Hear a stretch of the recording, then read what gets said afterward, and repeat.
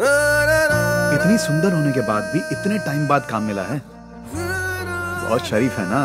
Dad तो तभी खुश होंगे जब मेरी शादी हो। आपकी शादी हो गई? नहीं। इतने बिज़ी शहर में कहाँ कोई किसी की मदद करता? है ये तो अभी शुरुआत है। आप हमें भूल मत जाना।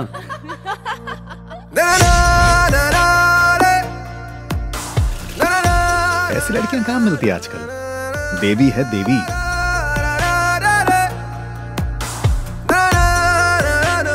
उसे शादी नहीं करनी थी। ठीक है पर ये सब क्या है? ख्वाबों में ख्वाब कहाँ? वो तुझे सच में पसंद करता है। कहा है वो आजकल? तू ही तो है। आप यहाँ पे करते क्या हैं मैम? माने जॉब या कुछ बिज़नेस और तुझे पता है कितना बड़ा चांस मिला था उसको?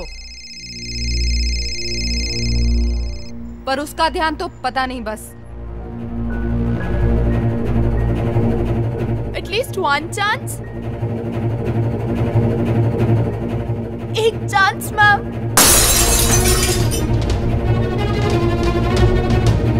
मुझे उसकी शक्ल नहीं देखनी है।